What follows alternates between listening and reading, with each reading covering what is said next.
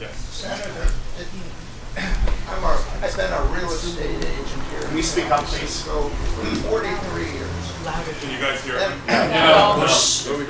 I've been a real estate agent for 43 years here in San Francisco. I can tell you that this bill will bring about massive demolition.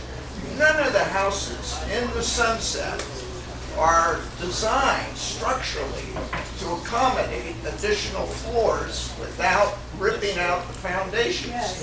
You've got to tear them down if you're going to build upward.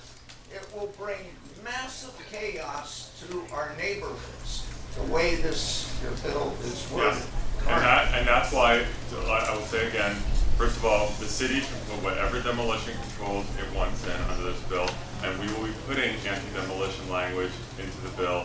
And so I would encourage you to give us feedback on that language this, later this month when it goes in. We would welcome that The other point I wanted to make, this is such a magnanimous bill that it shouldn't be legislated, it should be put on the ballot for the people to decide. It's too big a change. Thank you. Too kind.